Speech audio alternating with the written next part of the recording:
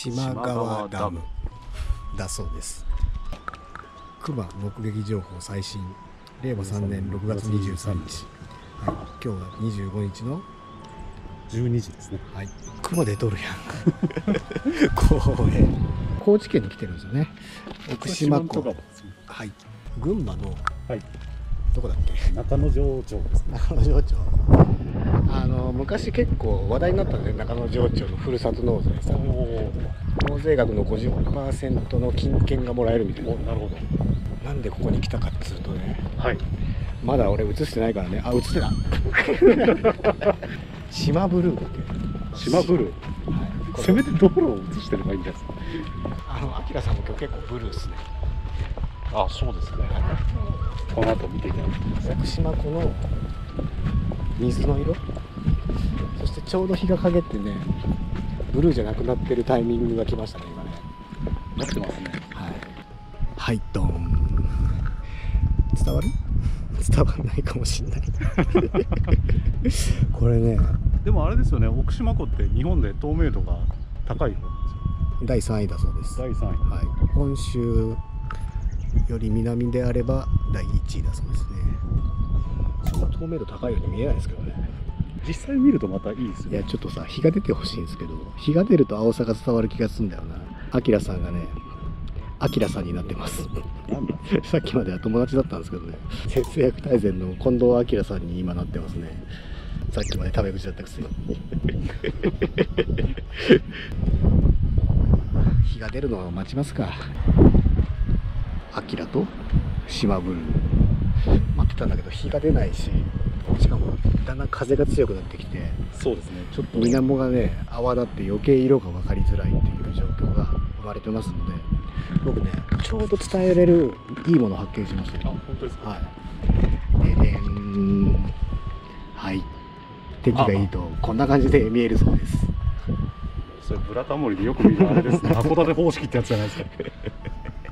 ほらすごくねこれ今実際は天気悪いですよ今日。天気がいいとこれ。さっき日出てる時ねいや綺麗です本当綺麗な青だったよね。悲しい。結末ですが。さっきまで本当に風もなくてさ日もちょっと照ってて綺麗な青だったのに本当撮り始めたら急に曇るしさ。小町の呪いですか。っていうところで島ブルーからお届けしました。あきらさん。はい。島ブルーのが見れるスポットがあるらしくて。本当ですか？来ちゃいました。桃太郎の滝。なんかねダムよりいいみたいなあそうなんです感じなんで、とりあえずあもう見えてる。ほかる？ちょっとわかるでしょ。さっきより青いのわかるでしょ。本当に車で34分ぐらいしか離れてない。そうだね。まあ。すごいですね。これ天気良かったらすごいんだろうねもっと。でもやっぱり思うんだけどさ、はい、透明度3位って絶対嘘だよね。3位じゃダメなんですか？いや3位だじゃないでしょっていう。全然透明じゃないもんだって。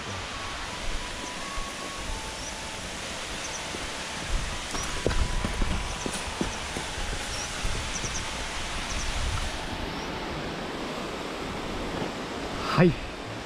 下まで降りてきましたが全く透明感はないんですが青さはいいですね。で奥にね滝が見えるんだよね。これズームどうやるんだろう。わかんないので編集に任せます。おーいいね。人がいないね。今日平日なんですよね。6月25日の金曜日。人がいないと喋りやすい。ちょダムの上から。どう？ちょっと怖い。ケツがヒュンってなる感じの GoPro 落としたら怒られるよね。やってみて怒られるかどうか。怒られるわ。怒られる。給料から引くだけとか言われそうね。そうそうですか。え滝行けないの？行けない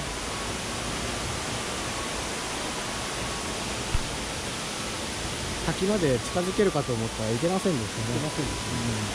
うん、桃太郎の滝でした。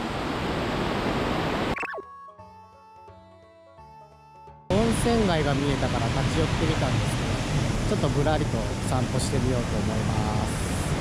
これ何？島温泉街的なやつまあそうですね。島グランドホテルですあー、まあ、あの上に見えてるホテルと多分潰れてますね。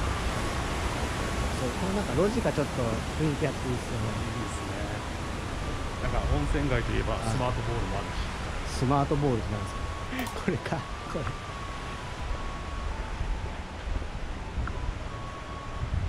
やってない感じするけど。あここもそう。ここはえー。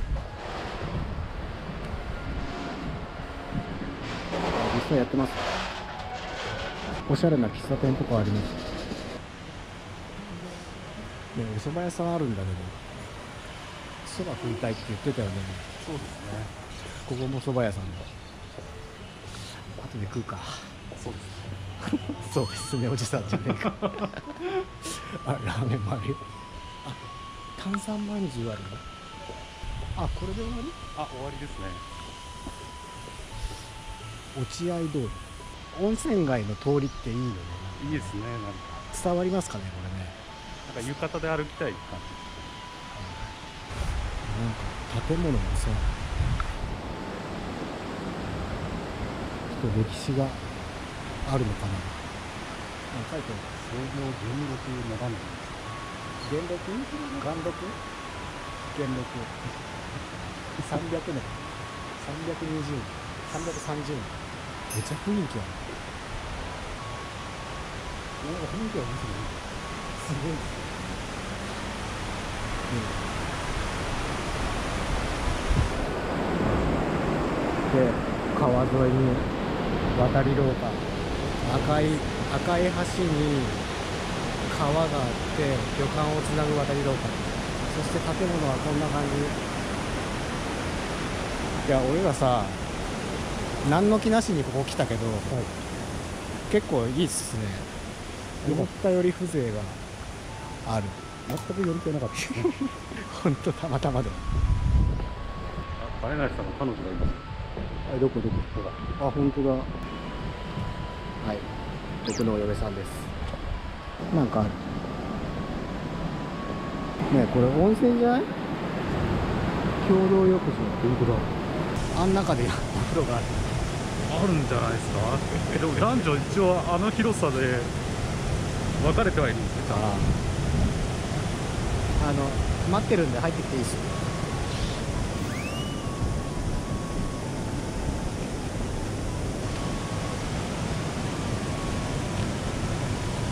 当に行っちゃいましたあの人。温泉街。とても雰囲気あっていいところでした。あきらさん大好きなイワナの塩焼きあります。食べてるとこ見たことないどこでもどこでも鬼滅の刃ですね。富士山のさはい。麓にもさ白糸滝あるじゃん。あります。こっちの方が好き俺。ああっちもいいんだけどーでもさっきお前記憶ねえじゃねえかっつってましたけどね。行った記憶がないんだよねってさっき言ってましたね。言ってましたよ。ね萩谷さんね。車止めて手軽に来れる距離がいいっすね。そうですね。ああ久しぶりに来た。いいねやっぱ。白糸の滝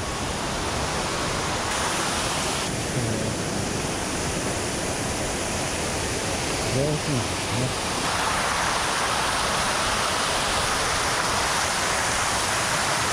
岩の間から水が染み渡ってる感じなんですね。川から流れてないんだ。緑の樹木が蓄えた浅間山の地下水が白糸の滝となってこの景観を作り休むことなく千曲川に流れて一番の湿度を潤しています。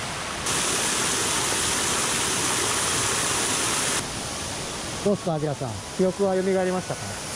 読み終わりました。本当に？はい上品だよね、なんかね。多分小さい時に来てるんでうっすらやっぱこっちの方がいいかないや、綺麗だよね。なかなかさ、川から出てないのがすごいよね。うん全部こう地層の間だよね。ね間から湧い湧いてますはい、白糸の滝からお送りしました。じゃあな熊野皇大神社行きました多分マリオットホテルから車で20分ぐらいですかね。2 3 0分ぐらいかな。ここ珍しい無水峠の頂上にある神社なんですけどね。一つのお宮なんですけど県境にあるで、まあ読んでるだけですけど 2つの宗教法人が建在して両神社の宮司さんとかがいるってことですねこれですね。ここがちょうど県境になりますね。本当に真ん中すんですね。うん。階パワースポットがあるんですよね。諸説あるらしいですけど、信濃の国はこの信濃の木っていう段にそこから来てる。あ、あま。あそうですね。でまた俺適当なこと言ってるかもしれないんだ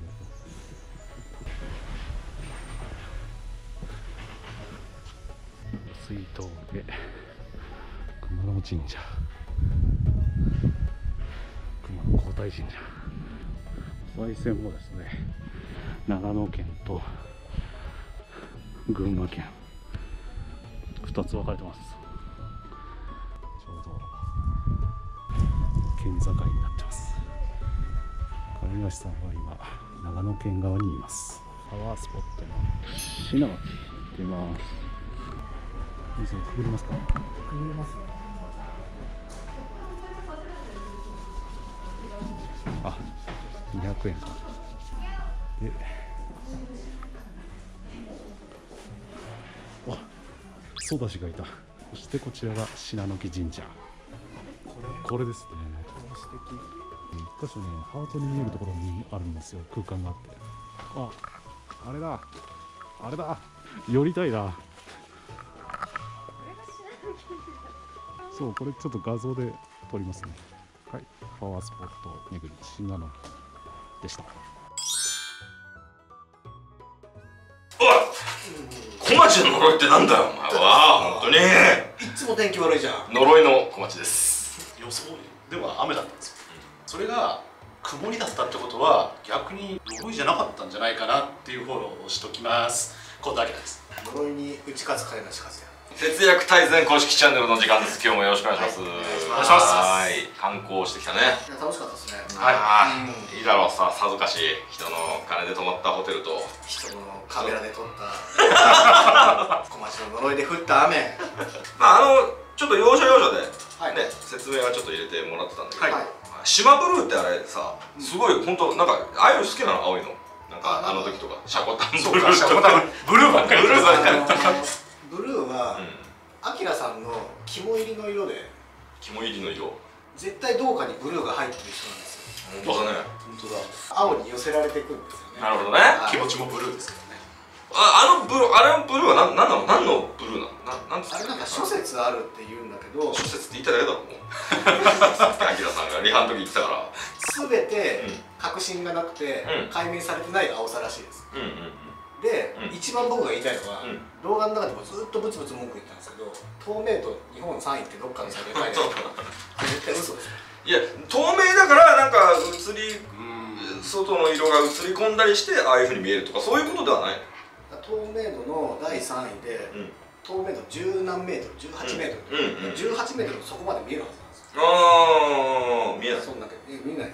1メートルも見えてない。でもなんかよくよく調べたんですよ雪解けのうん。3月4月、うんうん。その辺の季節はすごく透明みたいな、うーん。まあちょっと雨とかで撮ってたのかなっていうのは、確かに。そうですね。直前とかも雨降ってましたしね。洞爺湖のイメージでいくとちょっと違ったんですよああなるほどなるほど。いやあなたの感想をいただけたね透明度最後に物申したいまあまあじゃあそれが島ブルーで。でも桃太郎の滝も島ブルーでみたいなんですよね。はい。でもあっちの方はなんか綺麗でしたね。綺麗そうですよね。ううんん。綺麗ないやでもなんか青く見えない青く見えないって言ってたけど青く見えたよねその動画で見たら。あうん見えた見えた。これなんていう何なのの？GoPro? お GoPro のちっちゃい画面だと色がちゃんと出てないように見えた。気候法みたいな。なんだ天津飯のやつ。天太陽圏。気太陽圏。気候法でいいんだよ。気候法でしょ？太陽太陽系はなんかここそうですね。誰がクリリンやブルーやめろよ。ブルーになるなよ。で、えー、あと温泉か。温泉かわいそうだな気がする最後哀愁漂ってたよ。なんか察してほしかったですね、うん。あだって急遽仕込んだことだったんでしょ？そうあのあ行ってきたらみたいな感じだったんで、あじゃあ行ってきますよっていうことはあそういうことなんだなって思ってそうだよで中の写真撮って出てくる時にこうちょっと顔を濡らして「いやいい湯でした」って言って出てこようと思ったらもういないで俺違うところでちょっと写真撮ったりしてて「あきらあやっと帰ってきた」と「もう撮ってないですね」あもう終わったよ」っつってそっと T シャツでこう お湯涙を湯を拭ったというね。涙と湯を拭うなるほどなるほど。そういうネタがあったのを今知りました。蕎麦屋さんとかラーメン屋さんとかねおいなんかすごい風情が、はい。あのピンボール。なんだっけなスマートボール。スマートボールそう、僕好きなんですよね。うんうん、あれとかさよ良さそうだったじゃん。いやすごい雰囲気良かった、うん。狭い場所で、うん。常に川の流れの音が聞こえてるんですよね、で結局そば何食べたの？あそうだ食べました。そうです。食べました、うん。限定15食の限定15食？このこまこの小松屋さん。小松屋さん。はい、うんう。んここです。はい。ここで食べたそばがドン。ドンそうこちら。これああいいねそばね。いやもう何にもない。そばのこのもう喉越しを想像してなんかよだれ出るもん。美味しかったよ。そう。満足な金田さんあですね。そうちょうど入ったらあの、限定のやつがあと2食です。えー、一食だった場合ってどうするの？一食だったら僕が食べますああやっぱそうだね。で、えー、温泉街からそうだね白糸の滝。ここでようやく軽井沢に近づいてきますね。うん。まあ今これが行く前ってことだよね。ホテルにチェックインする前ってことだよね。はい。最後に質問ぶっ込んでましたからね。富士山と軽井沢。俺あの軽井沢の白糸の滝って今初めて見たんだけど、はいなんかね富士山のそうなんか結構高いところからバーって見て下に降りてって階段そうそう死に死にそうな階段降りてってで一番下にね信玄餅売ってるお土産屋さんがあってみたいなとこじゃん。歩いていけるじゃん途中まで。でなんか「はぁマイナスイオン!」とかやってさびしゃびしゃになって帰ってくるみたいな。若くないといけない。だけど軽井沢の方はなんかこうしっとりとした。まあなんていうんですか趣があるというなんかね、はい。なんかもうすごいあのー、作れそうな。作れそうだね。均一な感じあーだね作れ作れそうなねっていう白糸の滝を見て、はい。あカヤさんたちはあっちの方がいいあの動画の中中でも言ってたんですけうんうんうん。ど二人して軽井沢の方がやっぱ雰囲気はいいよねみたいな話をしててこっちの方が好きだななるほどなるほど。みんな皆さんはどうかなと思って。両方見られたことがある方感想欄にね。ごご意見でラストが熊野皇太神社。神社。これ翌日行ったんですけど、うんうんうん。泊まったはい。後ね、そうですね、うん、あの金谷さんがのぼせた後行った不機嫌な、うん、てベッドで遠赤効果みたいな遠赤外線効果そうだったみたいですね。うん僕はベッドの保温性がめちゃめちゃいいんだと思ったんですけど俺あそこ一番行ってみたかったななんか県面白そうじゃん県境のそうですね、はい、今回なんか、うん僕が軽井沢行くってことになってあここ行きたいんですよ、うーん長野群馬とかやらなきゃいけないですね本当はね。いややってほしいよねそれ始まる前に。これ見た時っていうかあのアキラさん帰ってきた時にもうなんか反省としてあげてたもんね。それできなかったんですよ、何かする雰囲気も何もなかったですなんかもうガッチガチで色読むことに必死みたいな。感じで読んでるだけですけど。そうそう慣れてよいい加減さもう。何年やってんだよ。一年。1年だ1年。だ1年はい、ちょっとちょっと恥ずかしいですね。長野県と群馬県の県境の神社っていうだけを聞いてると、うん。ちょっとなんかそれそういうだけの神社なのかなと思ったら意外にこううん。パワースポット。そうね。なんか行ってみたいなと思ってあのハートのさやつ。最後に出てきたあのやつ。これこれですよね。どれどれ？あれだとさちょっと動画だとちょっと分かりづらかったけどそうこの穴がここの穴がそうこれ。これお本当だすごいハート。ちっちゃい。ねえ綺麗だねこれ。そうでで大木にこの穴開いてるんだよね。そう大木に開いてて女性2人組とか、うん。たくさん来ててやっぱこれを目的に来てるっていう。でそこのねあハート見に来たんですかみたいな。そうですね。可愛らしい二人組とかいたよね。結構いましたっていうのもギャル二人ややらないあハートなんかハートですよね。かかわいいですよね僕が群馬であなたが長野で。っていうのない特に。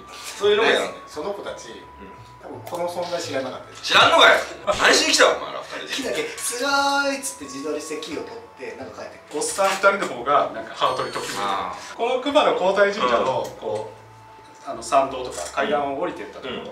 県境に立ってうん茶屋さんっていうんですかね。うんうん。うんそこに2人で行ってきたんですよ。力持ちが有名なんだね。力持ちがね。力持ち。そう元祖力持ち。えー、これ。力持ちっていうのは？力が出る文字峠の茶屋みたいなので昔からやうんうんうんうん。っててそこでお餅を出すようになったのがうん。元々の由来でそこで力をつけてもう一回感じで出ていってもらうみたいな。あ力がつくよっていうね。そういう。うん。炭水化物で。はいでもほんと美味しかったですよ。美味しそう、はい。これねわざわざ群馬長野って書いてあってね。で一席だけうん。うんうんうん。県境にこううん。あるやつが座ねれるところがあるんですよ、でそこが最初空いてなかったんですけどあの一人帰ったんで、うん。早速あの金梨さんが移動していいですかみたいな感じで。でここに座あって。そこに一席だけのところに座ってここの線だ。そうです。ここにこう。あーになるほど。うん。うん私が群馬県。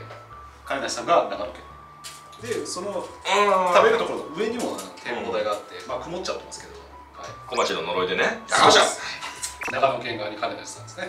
あパチンって群馬と長野でね。はい。してます。まあまあまあ。だからぜひ熊野皇太神社行ったら重野屋さんとのセットでね。行ってみたい。行ってみたいです。はい。楽し楽しそうだったね。一個言い忘れたんだけど、うん。御朱印2つもらえますからね。群馬側と長野あ側で。あなるほどね。1000円1000円、うん。ちょっと高いんですよあ300円じゃないんだご朱印1000円だったよねだいぶ高くね？え1000円しましたっけ？500円500円じゃないですか。俺よく言ったまた言った？あこれ2人分払ったからってこと？いやそんなことないです。なんか両替するとに1000円払ってませんでしたここにあの本当のところを出しておきます。はい。ということで、えー楽しそうで羨ましいけどあ僕もね今年の秋になったら旅行にまた行きたいなと思ってますそういえばさあの元尾ちゃんがさ八幡平に来てって言ってたよ。岩手？10時半コテージとか完成して泊まれる。温泉もあって泊まれるようになってるからって言って。みんなで行こうっていう話をして。全然動画撮影も全然来てくださいみたいな感じで連絡をくれてたんで、行くからね元尾ちゃん。ということでああれだよ。あのふるさと納税の時にやったね。マッシュルームのところ。ああはいはいあそこね。美味しかったですもんね。俺マッシュルーム食えちゃったというわけで今日の話がちょっと面白かったので、高評価とチャンネル登録をよろしくお願いします、はい、それでは、えー今日も最後までご覧いただきありがとうございました。バイバイ。マッシュルームマッシュルーム。マッシュルーム美味しかったよね。歌えばいいじゃん川の流れの。あ川の流れのように。緩やかにでしたっけエンディングだ俺が合ってた 緩やかになってると思いますよ。